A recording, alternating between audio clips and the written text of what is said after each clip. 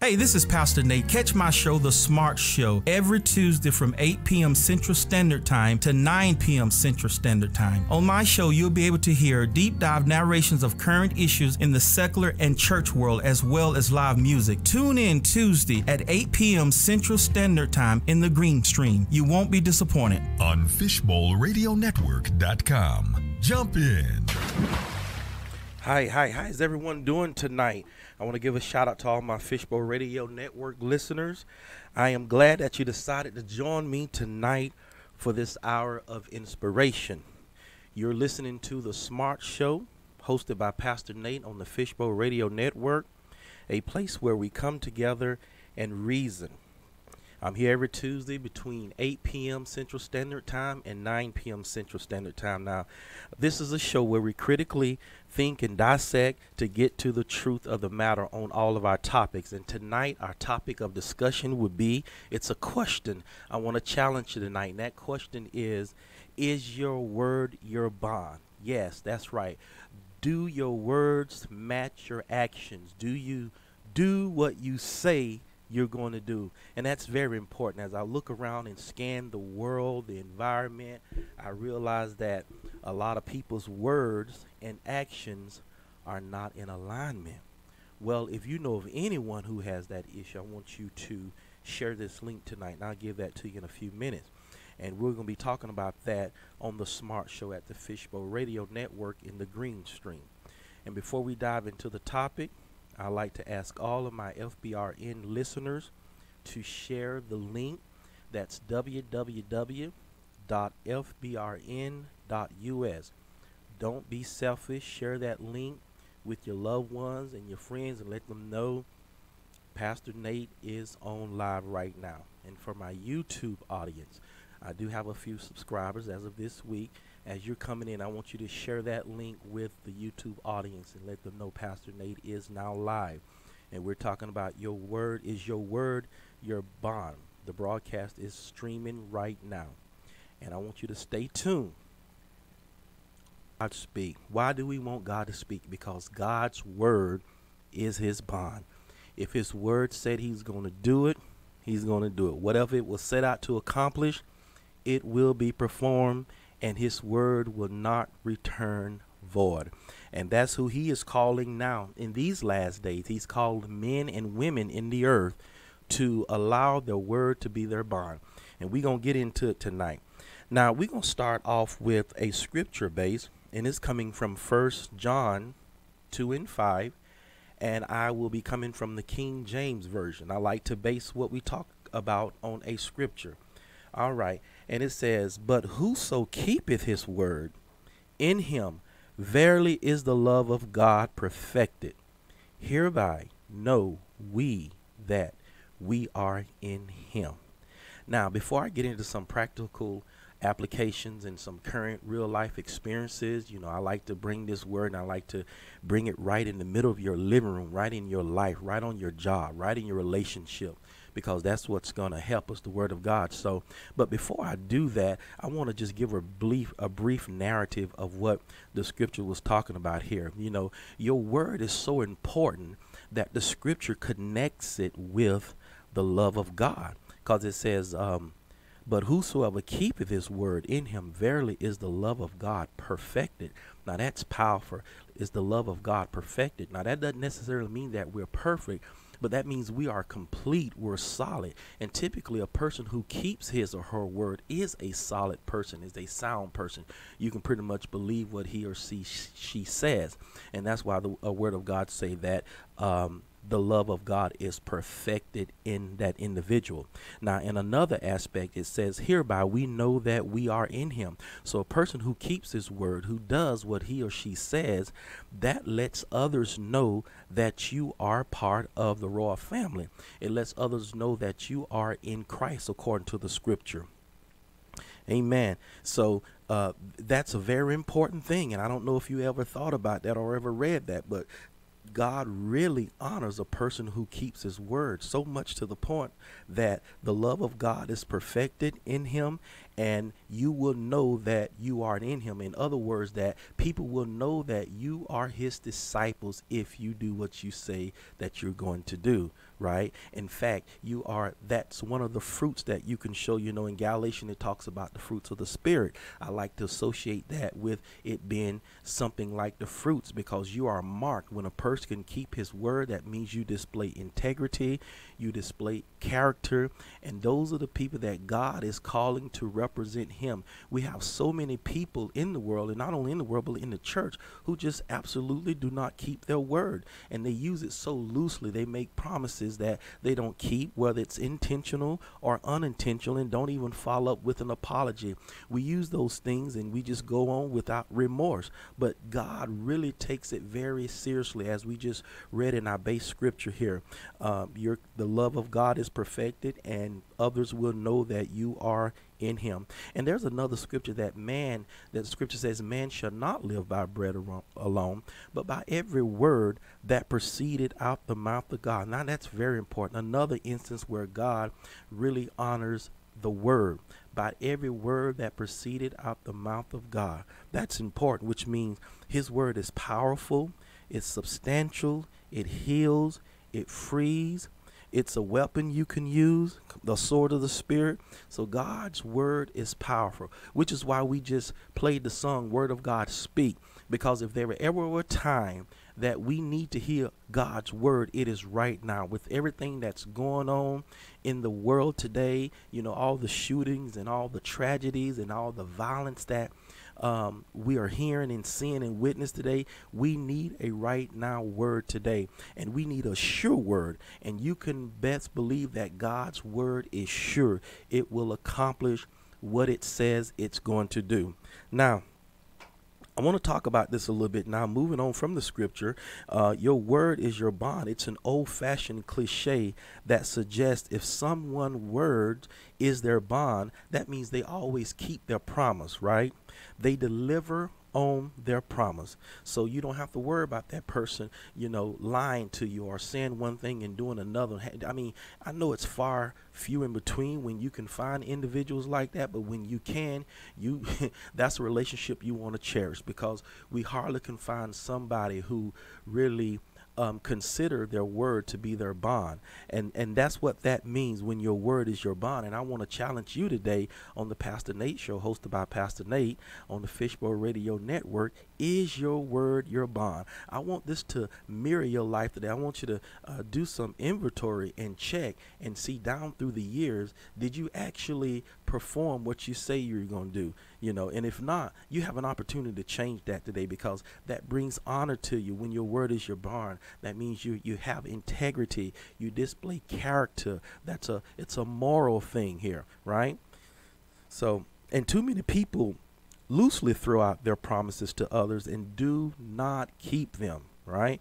Whether it's through uh, failing to arrive on time, have you ever let someone hold your vehicle and you tell them, hey, I need you back at a certain time, right? And then when they come to pick you up, it's like an hour later and they say, oh, yeah, I, I promise. I just need to use the car and, and um, I, I'll be there on time. I'll pick you up. You know, I used to go to the airport and I would let friends drop me off, you know, and, and when, when it's time for me to, uh, I'm flying back and it's time for me to be picked up, I call them. They'll say, well, I'll be there in 10 minutes. And that 10 minutes is like 45 minutes. Their word was not their bond. So now when I go to the airport, I drive myself and park at cheap parking or I get an Uber because people's word is simply not their bond. Ah, am I speaking to somebody already out there?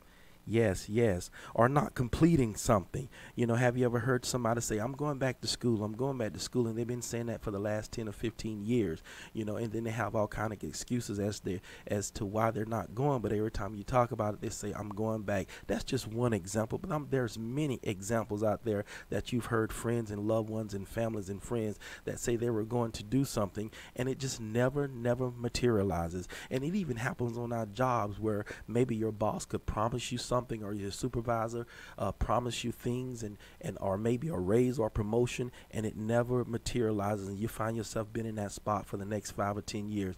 Um, I've experienced that before too, but God got away God is able to do exceedingly and abundantly. In these times, we depend on God because His word is always this bond. You know, no matter what man says and no matter what he does, God will deliver on his word. And a lot of people who make these promises and don't keep them, you know, many times like I say they don't have remorse. It's a lack of conviction in keeping keeping one's word, and that's a horrible quality to have.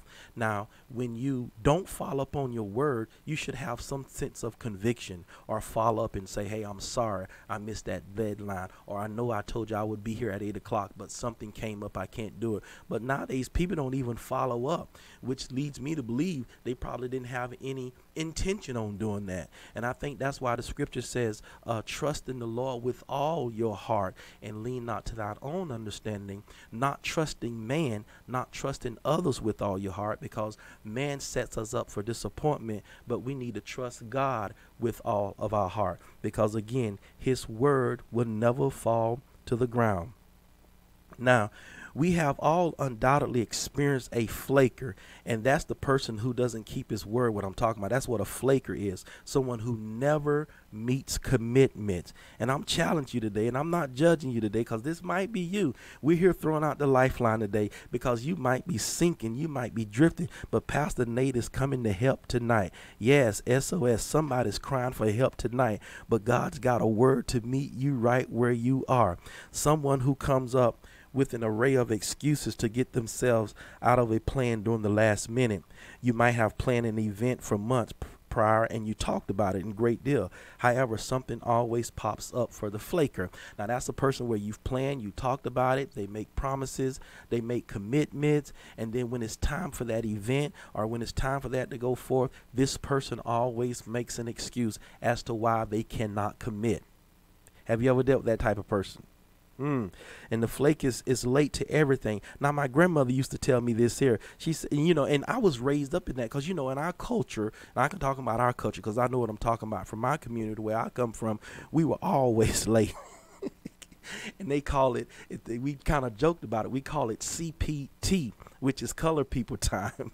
so if you, let's just say, for example, if we start service or church service, if it's supposed to start at 11 o'clock, we may start at 1130 well, that's not really our, our, word is not really being our bond, right? Because if we have a sign out there or our business church card says 11 o'clock, then we need to start at 11. My grandma would tell me when we were late on time, she'd say, "Boy, you're gonna be late to your own funeral." Have y'all y'all ever heard that before from your mom and your grandma? That might be a country saying, right? I don't know if everyone's heard that before, but she say, "Boy, you always late.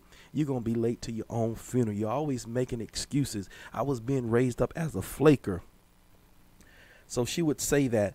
And um, now my pastor right now is very sensitive to time. Dr. Kevin Henry, if you're listening, God bless you. Shout out to our pastor and co-pastor First Lady. We're here on Saturdays between 5 p.m. and 7 p.m. And I'm honored to be on their uh, platform talking about issues, uh, various issues in the world and in the church too, like we're doing today on this show.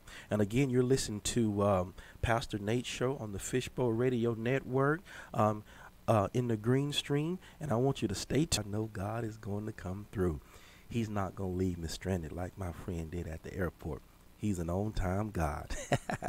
yes, you are listening to the uh, Smart Show on the Fishbowl Radio Network, hosted by yours truly, Pastor Nate in the Green Stream. And we are talking about Is Your Word Your Bond? Now, before we went to break, we were talking about my pastor uh, being very sensitive to the time and, you know, for example, if we're supposed to start service at 10:45, you know, I'm the musician, I'm the praise and worship uh, minstrel at my church, and he'll look over and say, "Pastor Smart, it's 10:45. Break out with a song. Let's get started." Now, he does that whether there's two people in the house, whether there's 20 people in the house, whether there's 200, no matter who's on their way or who's late. If we tell visitors that we're we start at 10:45 and we have visitors, we want that time to reflect what we told them on the business card, what we told them when we invited them to our church, because our word is our bond, and that's one thing I like about my pastor, because he's very, very, very uh, time uh, driven, and his timing is impeccable, and that's where what we need to be, not like the flaker, like we talked about earlier, someone who's always late and someone who never keeps his word and is always a repeated offender. Have you ever dealt with that person? You give them chance over and over and over and over and they never get it right. They always make excuses over and over. And last week, y'all, our, our, our session, we talked about. Ain't nobody got time for that. Now, I can give you a chance the first time. Now, the second and third time, you continue to do that. We don't have time for that, right? Because it puts you in a spot. It holds you back. If you keep dealing with these type of people, it'll have you late or it'll have you missing what God has for you. And they do it over and over and over. Now, you can say, you know, you really can't put too much stock in this person. Uh, we have a saying that says there's a it says you fool me once shame on you you fool me twice shame on me so we don't want to deal with the flaker unless he now tonight the flaker can get delivered and get freed of that, right? and that's why we're here tonight. Maybe you represent the flaker. I don't know. I know I once did, and I'll share some of that later on. And maybe you you are representing that flaker tonight. Well, hopefully tonight we got hope for you can change tonight. All right. So before we are uh, get into some practical applications and some current real life experiences to want to let you know again you're listening to the smart show for the ones who are tuning in uh, just tuning in on the fishbowl radio network in the green stream. All righty. Now here's a scenario i got for you here. As you know i was raised in the church. Everybody who knows me. I'm a church boy. I tell my youtube friends all the time. So I mean, whenever I type something, I make a comment or say something, you can tell I was raised up in the church. So in my younger days, I would preach and sing and play instruments all over, you know, the the city and the county, uh, and the state, and didn't really think nothing of it. So later on, I heard people um, getting love offerings and honorariums. You know, I didn't know you were supposed to get paid. You know, and I don't think we're supposed to get paid for doing the work of the Lord, but I think that. Uh, your your expenses should be paid. Like if somebody asks you to come and to to showcase your talent or to preach in another city or to sing or to play instruments as they do y'all know from the church you know how they do we have to travel. I think those travel those expenses should be paid for not necessarily you charging to do the work of the lord because one thing about it we owe god. We can never pay him. You know when he went to calvary and when he shed his blood we're still in debt so i don't charge to do the work of the lord i owe god but we have to put some balance here and some perspective. Some things that I didn't know. I was naive about it. You know, um, let me just kind of read a little bit of this here. I didn't know you're supposed to get paid. I did it because I love what I did and I love the Lord. Right? I understood that if you have been requested and sought out to come somewhere and you have to travel, all expenses should be paid, like food, transportations, hotel, and things of that nature. Now, I was naive to all that. And um, I remember when I first moved away from home, someone called me to another area. It was like four or five miles away. And then they said that, now, uh, we need you to come here. I want you to play for our worship service. And it was a seminar for a weekend. I want you to do this and that. So I prepared myself and I traveled down there. And they say, now, when you get here, we'll just pay your expenses because I had to pay the hotel. You know, it took gas to drive down there and food. Now, I didn't think anything of it because uh, I was young and it was church people, and I'm thinking church people, uh, their word is their bond. But my God, was I up for a rude awakening? and the long, the short of it, and when I got down there, and when it was, I did my thing, and when it was over, of course, the hotel was paid, and um, food was paid. But then when I left, uh, I didn't get any gas money, and I was really depending on that to get back. I'm like, well, where's the gas money? Well, I didn't ask for it. I, you know, I, I just didn't ask for it because I don't know. I was young. I thought maybe it was rude to ask for it, but I learned out of that situation, and this is why uh, evangelists and televangelists and singers and and and and um, gospel artists they come up with contracts. Now I think it's sad that the church has to put contracts in place, but we have to because man's word is not their bond you can't always depend on what people tell you. People never, sometimes people don't deliver on their promises. So, what we have to do, we have to put agreements in place, we have to put contracts in place. And sometimes people have to get half of their money before they come, you know, as a down payment just so they can have money to get there. And then the other half uh, when they leave, you know, and then we hear all these uh, scandals in the body of Christ right now that certain evangelists took their money and this and that. We don't really know the true story, but I'm sure it's behind people not keeping that word on you know on one end or the other end. Somebody didn't keep their word, so I understand why they do that, and it's sad to have to. Um, handle God's business like that simply because people's word is not their bond. Now, uh, 1 Timothy 5 and 18 says, is a Thou shalt not muzzle the ox that treadeth out the corn. The labor is worthy of his reward. So those of you who are saying that preachers shouldn't get paid, singers shouldn't get paid, um, well, the scripture says that the the labor is worthy of his war reward. Now, I don't think I should, you know, uh, prostitute the gift or go out and saying, you know, I'll do this for money. In my in, in my situation now, when I go out and play around, you know, play in the church. When I say play around, play the music or sing, you know, in many cases people will walk up and give me love offerings, and I didn't even ask for it, but they give that to me because they were a, they were they you know I was a blessing to them, and I appreciate that. It really didn't take any expenses out my pocket because in many of those cases I didn't have to travel a long ways. But when you have to travel, let's say miles and stuff, a lot of times you have to put contracts in place, and it's sad to do that sometimes because people just don't deliver on their promise. Now, the reason why the scriptures say a labor's worth of his hire, thou shalt not muzzle the ox that treaded out the corn, you're doing all the work. Now, many people have to go to, many people went to school to get music degrees. Many people went to school for vocalists. They want to make a career out of it. And they just decided to kind of make a career and sing for God at the same time. And I think sometimes we miss looking at it from that perspective. It's their livelihoods too. Ah, I don't know if you thought about that.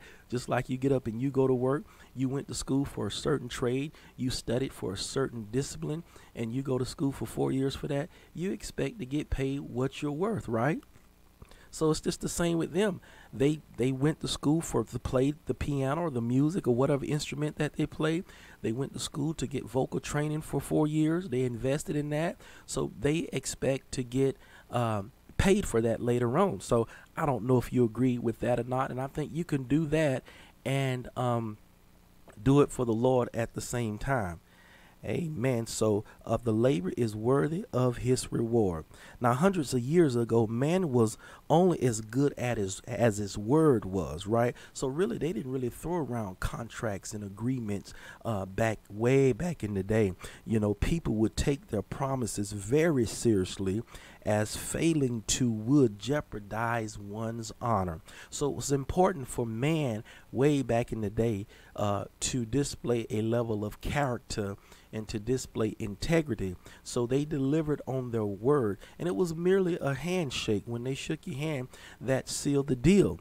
But nowadays, shaking hands are not powerful enough. If people can get married and exchange their vows and say to death do us part, and then a year or two later divorce, then that should let you know right then. Now, I understand that certain situations occur in marriages where you know people would have to depart whether it's you know abuse or adultery or anything like that i don't encourage you to stay in those uh, type of situations but sometimes when people just get upset or they just get on each other's nerve then i've heard instances where they no longer want to be in the marriage and i don't know if they realize those powerful vows that they made. And we're going to talk about that a little later on today. So we live in an era, we live in a generation where a men's word is not their bond. And we need to bring that character, we need to bring that integrity back into play because it certainly uh, is used loosely nowadays. Now we can probably relate to this one here. Here's a scenario: some of us uh, asked to borrow money, and and they promise to repay it but uh, the person doesn't repay it, uh, and now they're avoiding your calls. Have you ever let someone borrow some money uh, for whatever reason, and they promise they need it so desperate, and they promise to pay you back? I mean, they make all types of promises, and they jump through hoops to come and get the money. But let's just say when it's time for them to pay you back, then they're nowhere to be found. The word is not their bond. I remember a few years ago, uh, one of my close friends needed to borrow some money, and this is when I was, uh, uh, I guess it was about 15 years ago, and um, he asked to borrow like a hundred dollars, I believe, and um, I had the hundred dollars right then, but I say next week I'll need this hundred dollars back because I was reserving that hundred dollars for the electric bill. Can somebody relate to me? All right. So when that time came, that following week, that individual was nowhere to be found. Yes, he was nowhere to be found.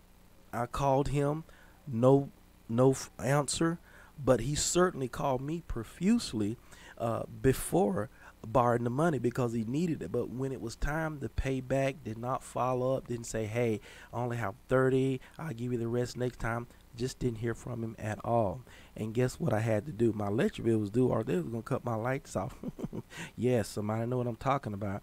Yes, and I was approaching the deadline. Y'all know when you get the red letter, they send you a letter, then they send you a red, you know it's getting real serious. So what I had to do, Pastor Nate had to go out and get a payday loan, be- simply because my friend's word was not his bond. And you see what happens when you deal with relationships, when you deal with people, and you don't deliver on your word, you can affect their life. You can impact their life in a negative way, just like that individual did mine. It cost me. It cost me a hundred dollars because it's a hundred dollars he didn't pay back, and it cost me another hundred thirty dollars because when I had to get the payday loan, it was thirty dollars onto a hundred, so that was a hundred and thirty dollars I had to pay back. So that cost me two hundred and thirty dollars.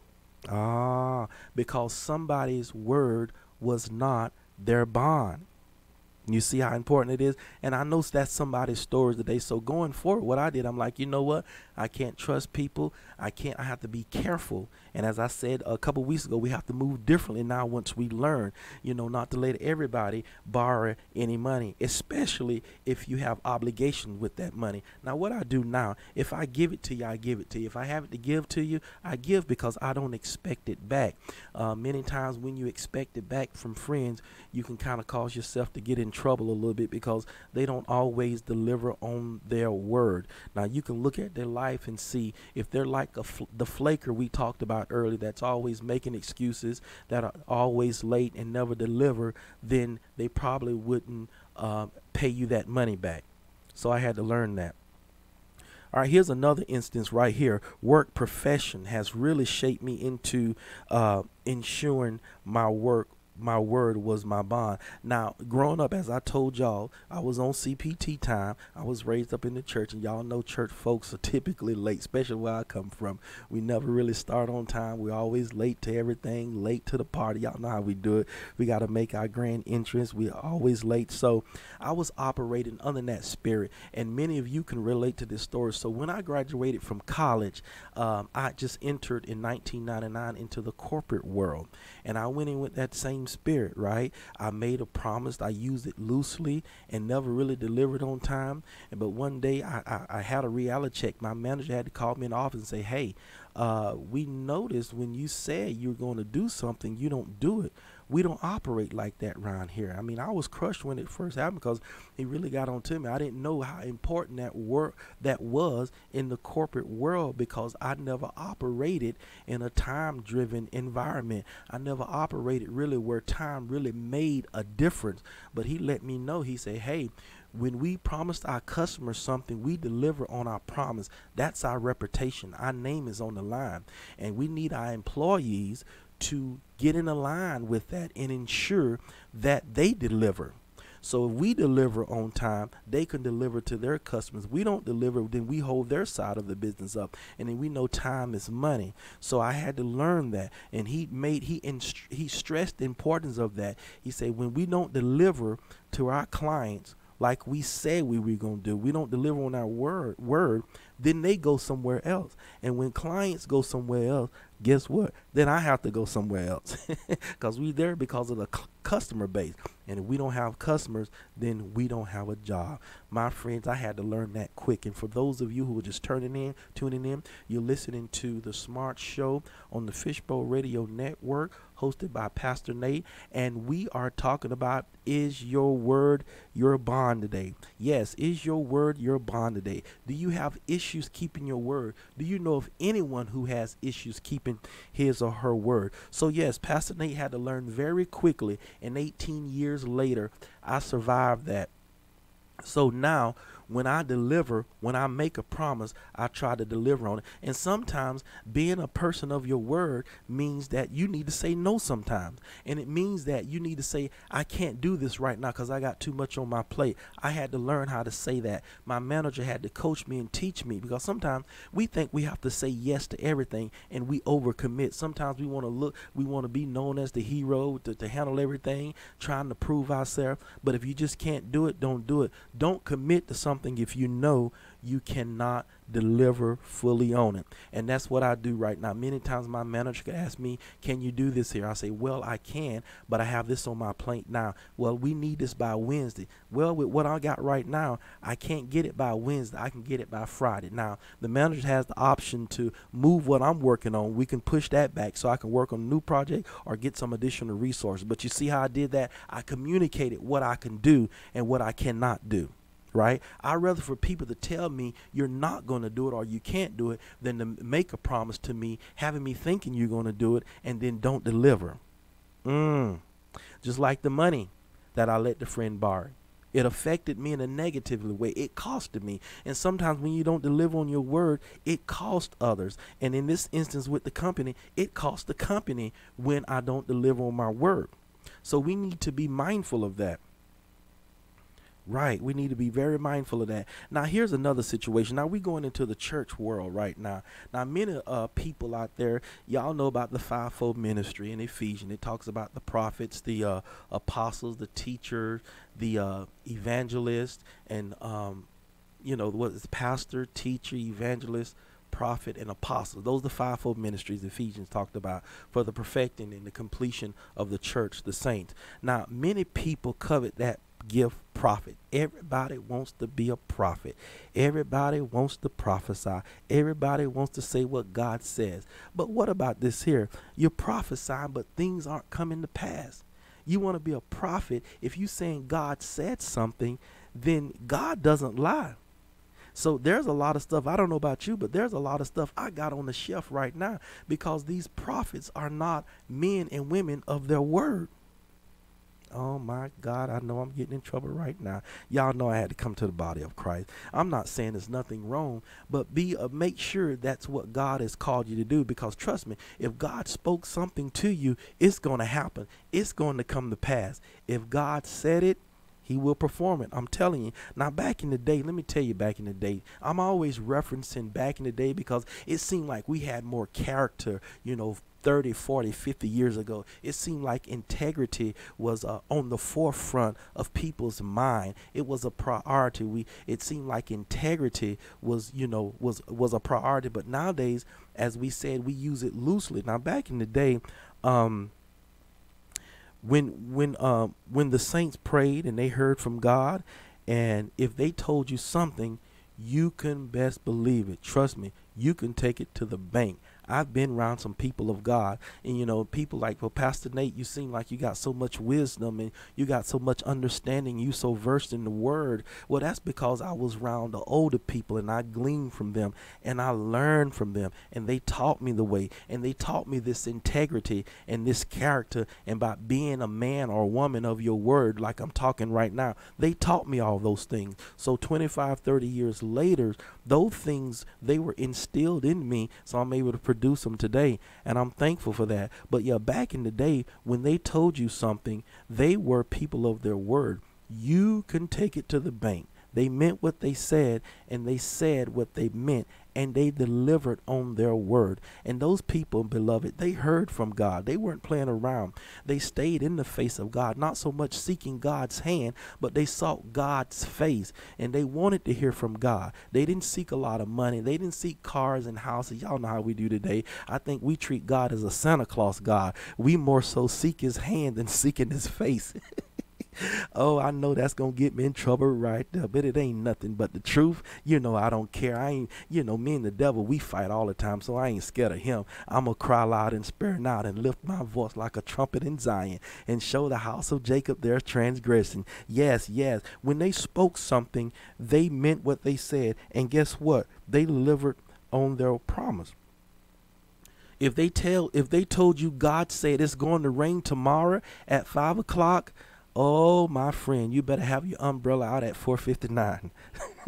because it's going to rain. Oh, yes, it's going to rain. If they told you God said it, then God said it. It's going to happen. Now, I understand we mess up every now and then. We talking about the prophets now, right? Everybody wants to be a prophet, but nothing really ain't coming to pass. Understand we miss it because when I was growing up, you know, I was operating in zeal and I missed it. I would go and say, Thus saith the Lord, and I wouldn't really hear and get the whole message from God. I would just get a little piece of it and I would run with it. And I would say, Well, God said this and God said that and get half of it right. And, you know, I saw through the glass darkly, as the scripture says, and then get the whole picture. But now I have better understanding as I mature and as I develop in God. I know how to hear Him completely now, so I can get the whole message straight. Because you know, um, we can't lie on God, y'all. I'm telling you, we got to be careful when we say, Thus saith the Lord, because we don't want to taint God's reputation. We don't want to taint His name. And many of us are running around and saying, God said this and God said that, and God really didn't say it. Mm.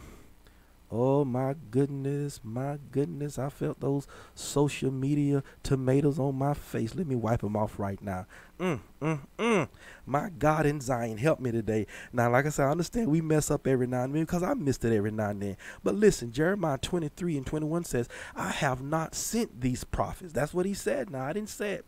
Go to your scripture. I have not sent these prophets, but yet they ran. And that's what I used to I used to just run with it you know, until I learn. You know, I, I had to learn. He says, I have not sent these prophets, yet they ran. I have not spoken to them. What? You mean to tell me he has not spoken? Well, where are they getting this word from then? If he has not spoken, they're prophesying out of their flesh. They're telling you what their mind says. See, there's a line between what you're saying and what the Spirit is saying, what your emotions are saying, and what God is really saying. Mm. says, I have not spoken to them, yet they prophesy. That's what's going on right now. God has not sent them, according to Jeremiah 23 and 21, and God has not spoken to them, but yet they prophesy. So we got to keep that in mind. And how do you keep that in mind when you're dealing with these prophets? You got to try the Spirit by the Spirit and see if it is of God. In fact, test what they're telling you based on the Word of God, because whatever God is saying is going to be congruent with His Word. All right, y'all, we got a few more minutes. We're going to hope this is blessing somebody right now. Now, we've identified the flaker. We've identified people who who don't keep their word and we talked about a few situations and uh, maybe you know somebody who was in those situations maybe you were in those uh, situations. We hope this is helping you. Now now i got a resolution you know i'm pastor nate's not to leave you hanging. He's not to just present the problem and not come up with a solution I would be remiss if I did that. So, my friends, beloved, I got a solution tonight. So, open your ears, and you still have time to share this on the Fishbowl Radio Network. Share this link with someone on YouTube. Y'all share share it with someone. Here is some solution. You're listening to the Smart Show on the Fishbowl Radio Network, hosted by Pastor Nate. And here we go. Here's a resolution here. Sometime your word is all you had, right? Just like in the old days. That's all they had and that brought honor to them. Contracts weren't, paper weren't being pushed around. Their word was their bond. Now, when you make a promise, consider it a sacred commitment. Y'all, we got to bring the sacredcy of our word back into the picture. We can't continue to use these words loosely. Now, my base scripture, you heard I read earlier, it said, Whosoever keep this word, the love of God is perfected. And then that's how you know that you are in Him. That's how you let your light shine. That's one way you show fruits of the Spirit by being a man of your word according to the scripture. Now, Matthew 5 and 37 says, But let your communication be yea, yea, nay, nay, for whosoever is more than these committeth of evil. So, in other words, uh, don't beat around the bush, be straight up right? If somebody asks to borrow money and you and, and you don't want to or you don't have it, just say I don't have it. I don't have it now. Uh, come holler at me next month or whatever. Or I wish I could, but right now I don't have it. Or I need this here for something. You don't even have to go into that. Just say no, I don't have it. That way, that person won't be looking for it. Because I've been in this position where I should have told the person no, and I say, well, let me see what I can do. Y'all know when we say that, we really don't have no intentions on letting the person borrow the money, right? yes, yes. We don't want to tell them no. We'll say, well let me let me see what I can do, or I have to see. well, you know, right then you didn't have any intention. Why don't you save yourself the trouble and the other person trouble by saying, "No, I don't have it right now." And that's what the scripture is saying here. Let your yea be yea and your nay be yea. Don't beat around the bush. Just be straight up with the person. No, I don't have it. I'm not able to come pick you up next week and take you to the doctor. Let them know as early as you can so they can make arrangement. Don't say yeah and then not show up right? Because if a lot of times when you're dealing with people and you make promises and you don't keep them, you can negatively impact their lives, right? So be straight up. That's what it's talking about. And here, and that's one solution, right? Here's another one. Um, Ecclesiastes 5 and 5, it says, Better is it that thou shouldest not vow than thou shouldest vow and not pay. There again, don't commit if you know you have no intentions on following through or if you don't have the capacity or the wherewithal to do so. And like I said, it kind of kind of it goes in line with the previous situation. I've heard people say, "Well, I just didn't want to tell them no."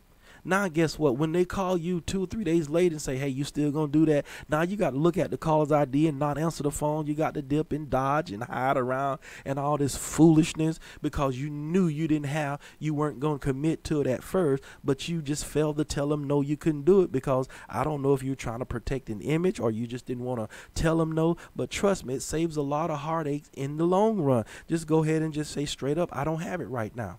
If your word is your bond, don't play around with them. Okay, you have to make other arrangements. I'm dealing with someone right now where I'm, I'm, you know, I'm taking them different places until they get their car, and I let them know, look, Monday, Wednesdays, and Fridays I can do this here. Other days I can't.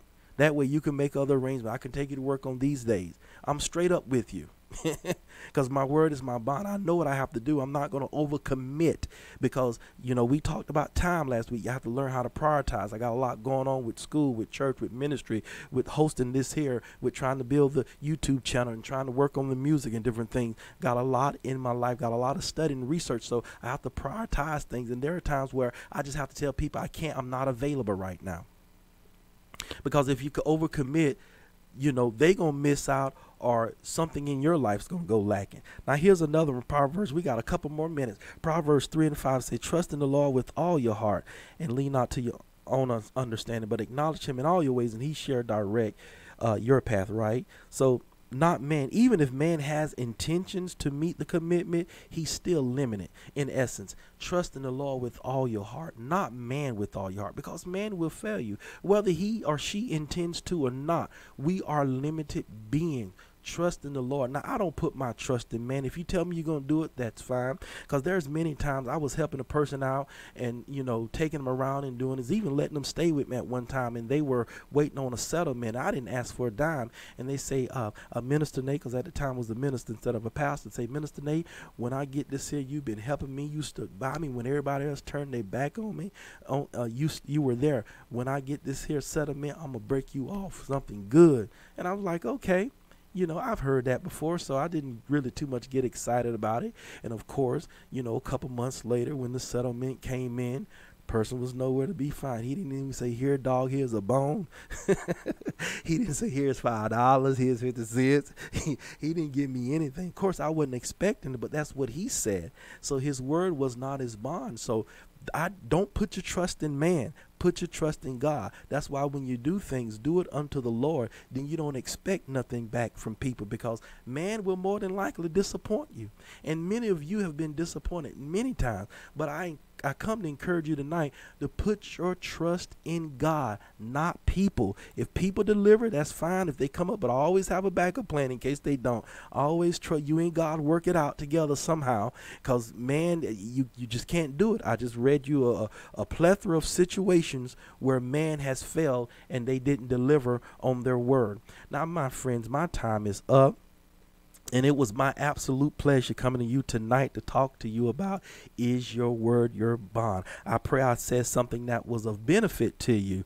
Now, if you have any questions, concerns, suggestions, or content that you would like to hear, uh, just click that email button on the FBRN.us page or simply email me at nsmart6355 at AOL.com. For my YouTube audience, if you want to be notified immediately when I make videos, click on that YouTube icon on the FBR FBRN page. And I want you to subscribe and hit that notification bell so you can be notified when I make comment uh, content. Now, every Tuesday from 8 p.m. to 9 p.m., I will be here live on FBRN.us. Uh, uh, Fishbowl Radio Network station and on YouTube, right? So make sure you meet me here every Tuesday at 8 p.m. And remember, you were listening to The Smart Show on the Fishbowl Radio Network and the Green Stream.